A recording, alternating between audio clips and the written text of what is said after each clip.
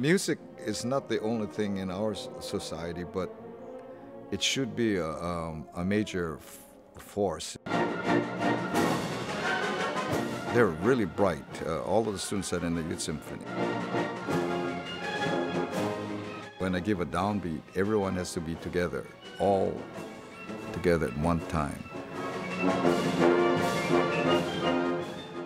And as the rhythm and as the counterpoint and the melody changes, they still have to be on together.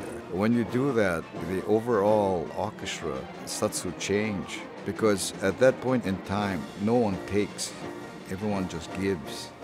And that's what's so wonderful. Music uh, can change life, it changed mine.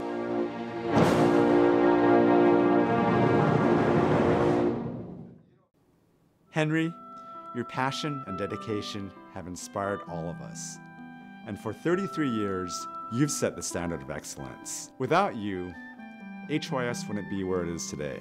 I can't begin to tell you how much I will miss our conversations. Thank you for teaching our kids and changing their lives.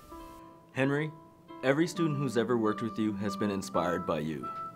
Your legacy will live on through all who participate in HYS. Mr. Miyamura, thank you for teaching us to open our hearts and listen closely, because there's always room for improvement. Mr. Miyamura, thank you so much for everything that you taught us and for making us the best musicians that we could be. No matter where we ended up, our lives were definitely better because of all the lessons that we learned from you and everything that we experienced in the Hawaii Youth Symphony. Thank you, Mr. Miyamura, for teaching me excellence. Thank you, Mr. Miyamura, for teaching us to go beyond, beyond, beyond, beyond, beyond. Thank you, Mr. Miyamura, for teaching me what overtones are. Thank you, Mr. Miyamura, for always teaching us the value of teamwork and for always implementing it. Thank you, Mr. Miyamura, for always making me have passion in music. On behalf of the Board of Directors, I want to thank you for your commitment to Hawaii's youth and for inspiring all of us to go beyond beyond.